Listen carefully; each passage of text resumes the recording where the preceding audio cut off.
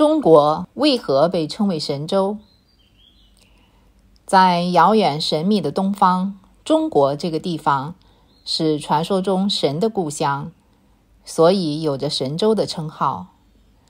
这个神的子民自古以来认为它是居世界中心的国度，所以称为中国。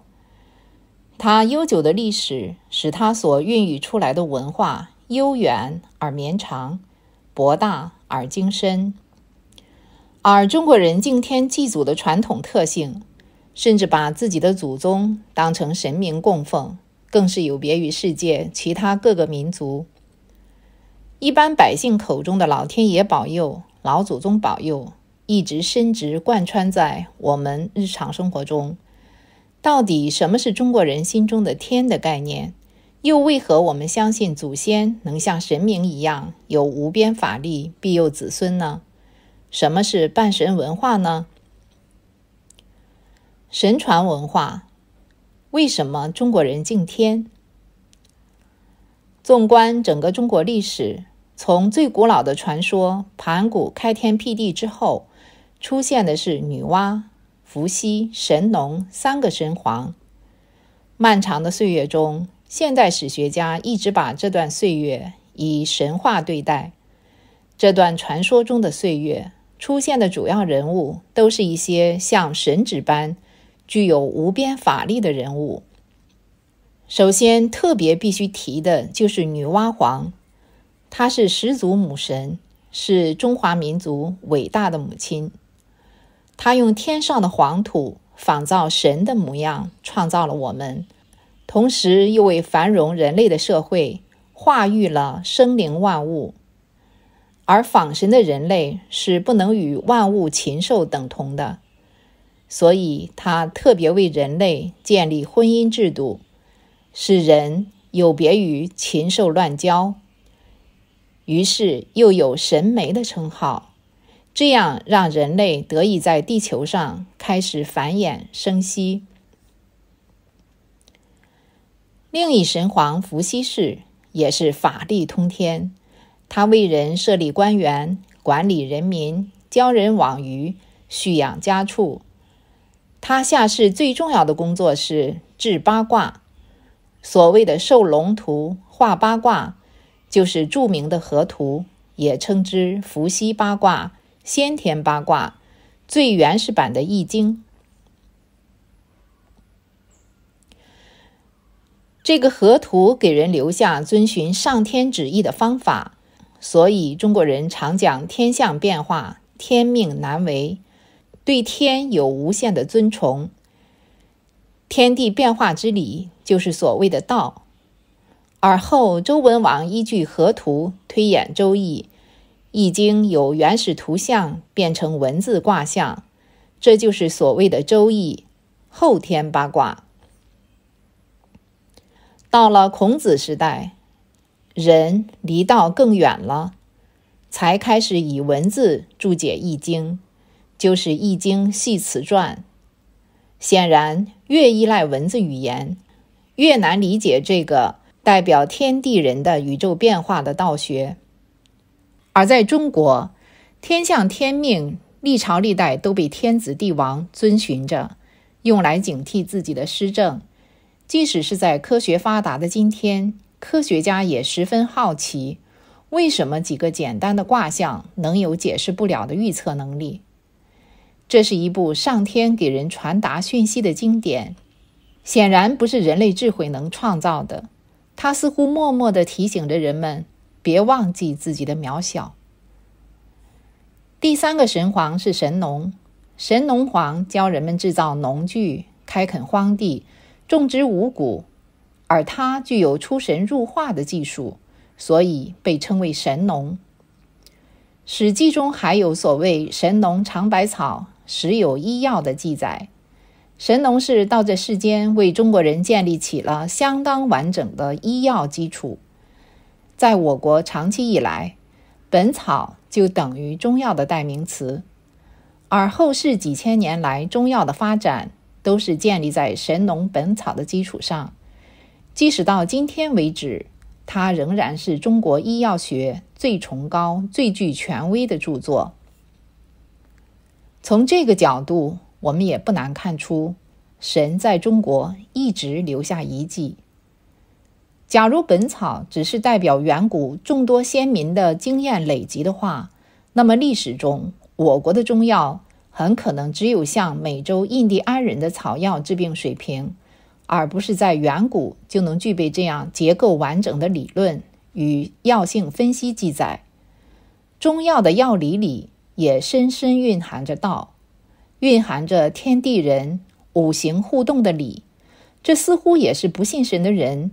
永远弄不明白的谜。从这段中国史上记载的三皇所经历的漫长的岁月来看，在中国显然经过一段人与神共处的岁月。神曾经直接传授文化给人类，神传的文化经过时间淬炼而能历久而弥坚，所以中国人对天有无限的敬崇。敬天不只是代表中国文化是个信神文化，更是一个神传文化的表征与内涵同在的体现。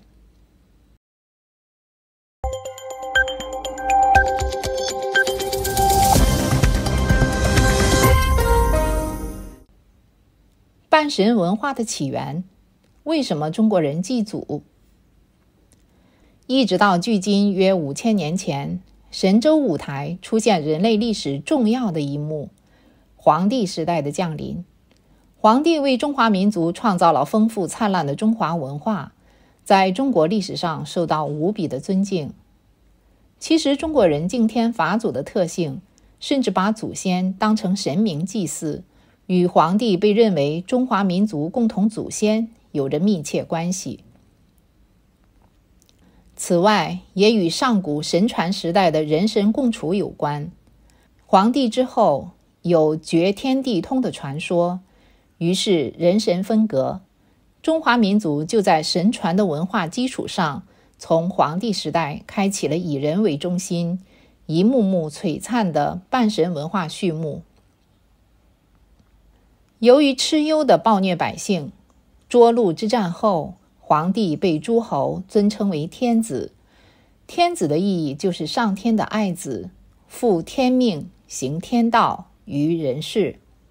所以，实际上，皇帝成为中国历史首位以武力、以兵争天下的形式臣服诸侯、统一了华夏族的帝王。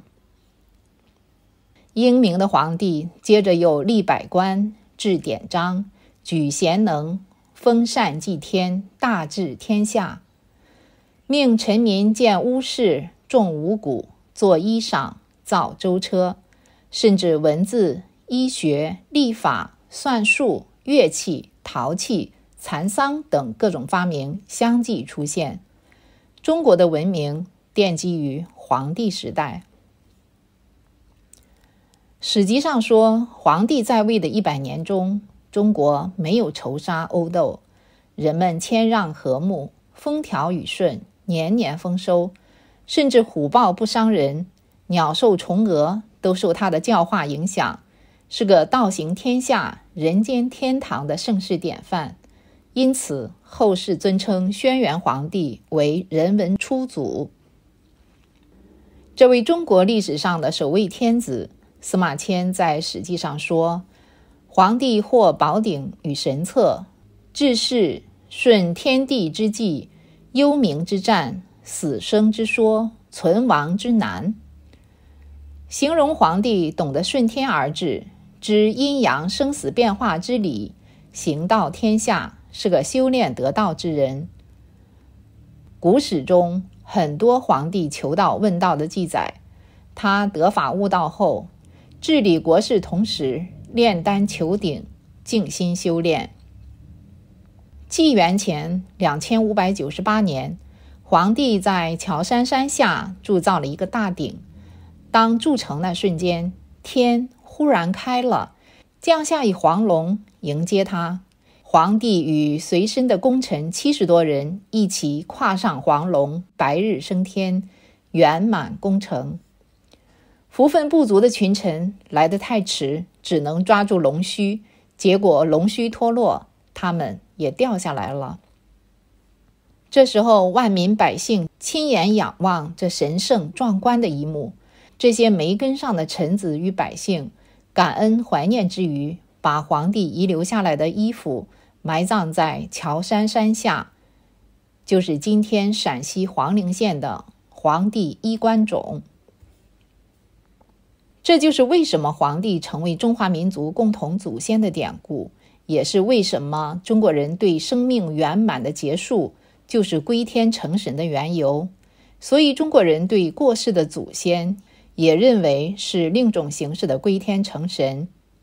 祖先在天之灵能庇佑看护子孙，所以家家户户供奉自己的祖先，同姓亲族甚至建造祠堂共同祭祀。年节祭祀祖先，敬天祭祖，就这样成为中华文化的一大特色。半神文化造乾坤，人本文化的真正含义。从中国历史的角度看，我们都知道，中国从黄帝开始有了文字，也开始了以人为本的文化发展。人类确实从此以后一步步迈向文明。不断的创造，不停的丰富着人类的文化，但是文字的出现，其实也将人类带进一个更复杂、更难生存的世界，也代表着人类的原始天性，同时渐渐被复杂的人性取代了。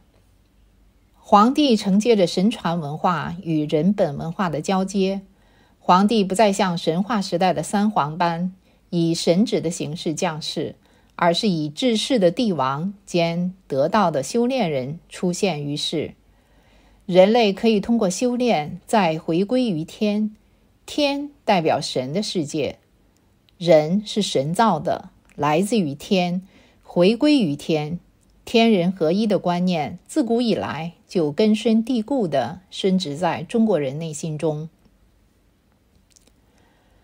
而人与神之间连通的唯一管道就是修炼。人之所以为万物之灵，之所以珍贵，在于人拥有这个先天的神性，而修炼彰显的正是人类的这部分特性。所以，历史上很多修炼人都有很多神奇心灵力量、特异功能、超然豁达的生命观。像姜子牙、诸葛亮、刘伯温是著名辅佐真命天子的军师道士；像一苇过江的达摩祖师、峨眉山搬木头的济公和尚、创太极拳的张三丰、民间中除妖降魔的吕洞宾等八仙传奇；许多知名历史人物，像苏轼、王维、李白、陶渊明、孟浩然、白居易等等。都是修炼人，不只是儒释道三家构成的中国主流思想里充满着修身、修行、修炼的概念。先秦以前，各行各业、诸子百家都称道。人本文化的深层含义就是，只有人负天命于人世，能通过修炼反出自己的这个神性、佛性。或称先天本性，其他物种就没有这个殊胜的特性，这是生而为人的尊贵。从这个角度，我们来看整个中国的历史。如果文化是神传的，人是神造的，神造人的目的似乎是让人能基于神性，让人来创造人类这层的文化，丰富人类这层次的生命。同时，再返回自己先天的本性。中国叫做神州，这是中国人的骄傲。